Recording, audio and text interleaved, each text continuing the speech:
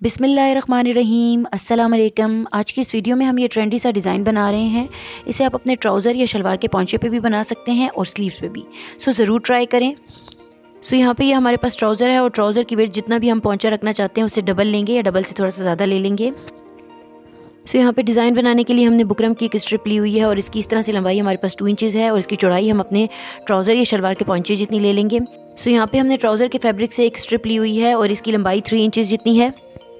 अब हमने बुकरम की स्ट्रिप को इसके ऊपर पेस्ट करना है।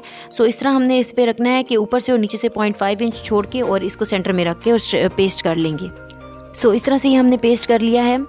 और अब हमने क्या करना है कि इसको ऊपर की साइड से फोल्ड करके और इसके साथ साथ हम स्टिच कर लेंगे एक साइड से, यानी। सो इस तरह से इसे हमने स्टिच कर लिया है ऊपर की साइड से।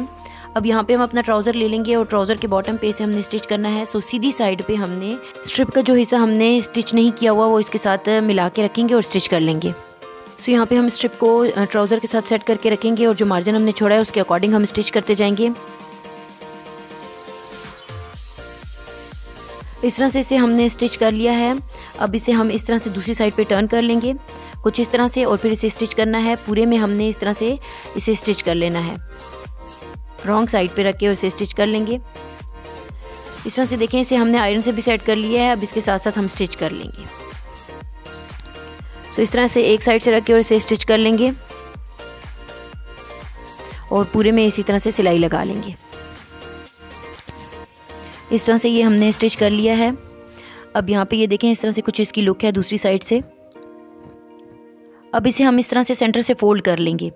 बिल्कुल बीचों बीच इसे सेंटर से फोल्ड करेंगे और यहाँ पे हमने प्लेट्स लगानी है।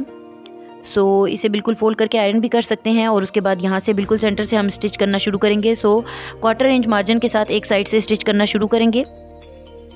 और यहाँ तक ला के जहाँ तक हमने स्टिच किया हुआ है, बुकरम तक और फिर दोबारा वापस जाएँगे और इसे पक्का कर लेंगे। अच्छे तरीके से मजबूती से स्टिच करने के बाद धागे को हम कट कर लेंगे। और इस तरह से एक प्लेट हमारी डन हो गई है।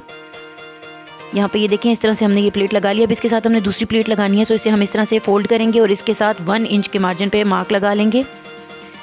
वन इंच के मार्जिन पे यहाँ पे देखें चौक से आपकी हेल्प से मार्क लगा लें और फिर इसे दोबारा से फोल्ड करें और इस तरह सेट कर लें और फिर यहाँ पे दोबारा क्वार्टर इंच मार्जिन के साथ हमने प्लेट लगा देनी है। जहाँ तक बुकरम है, हमारी वहाँ तक ही हमने स्टिच करना है। फिर वापस पलट के इसे दोबारा से स्टिच कर लेंगे। और इस तरह से ये प्लेट भी हमने लगा ली है। इस तरह दोबारा से इसी तरह से इसको हमने कंप्लीट करना है, इस साइड से फोल्ड करके, फिर वन इंच के मार्जिन पे मार्क लगा लेंगे और उसके साथ फिर इसे टर्न कर लेंगे। इस तरह से फोल्ड करेंगे और फिर इसके साथ हम इसे स्टिच कर लेंगे।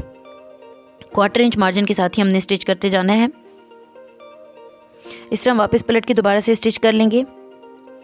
इस तरह से ये तीन प्लेट्स हमने लगा ली हैं।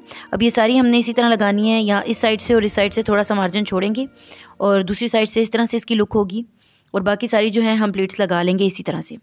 सो इस तरह देखें हमने ये सारी प्लेट्स लगा ली हैं दरमियान में, और सिर्फ़ सिलाई के लिए मार्जिन हमने छोड़ा है, और बाकी ये डिज़ाइन जो है ये हमारा कुछ इस तरह से कंप्लीट हो गया है। सो अब हम इसे इस तरह से फ़ोल्ड करेंगे और इसको फिटिंग की सिलाई दे देंगे, इस तरह से। और ये डिज़ाइन हमारा फिर कंप्लीट हो जाएगा। दूसरी साइड से भी इस तरह से इसकी लुक है और ये बहुत ही स्टाइलिश सा डिज़ाइन है सो आप लोग ज़रूर ट्राई करें। सो इस तरह के डिज़ाइन ट्राउज़र या शलवार के पौचे पे बने हुए बहुत अच्छे लगते हैं और इसे आप स्लीव पे भी बना सकते हैं। सो मुझे उम्मीद है कि आपको ये डिज़ाइन पसंद आएगा। सो ये थी आज की वीडियो अगर वीडियो अच्छी लगी हो तो थम्स अप दें और हमारे चैनल को सब्सक्राइब करें। सो मिलते हैं नेक्स्ट वीडियो के साथ। तब तक अपना बहुत ख्याल रखें और दुआओं में मुझे भी याद रखें। ओके अल्लाह हाफिज़।